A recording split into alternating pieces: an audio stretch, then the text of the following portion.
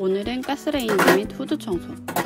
준비물은 날짜 지난 손소독제, 알코올 물티슈. 일단 가스레인지 위에 있는 것들을 다 싱크로 옮기고 마른 먼지와 재들은 청소기로 흡입합니다. 손소독제 뿌려줘서 때를 물리고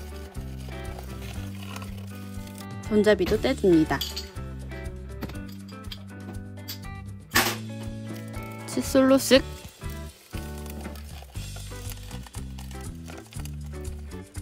마른 행주로 쓱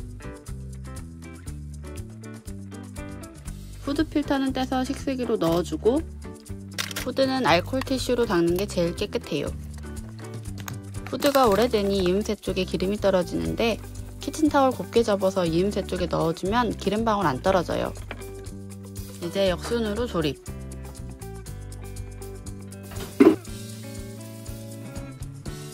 후드 필터는 솔질도 해봤는데 이게 제일 깔끔해요. 고마워요 나의 이모님. 말려주고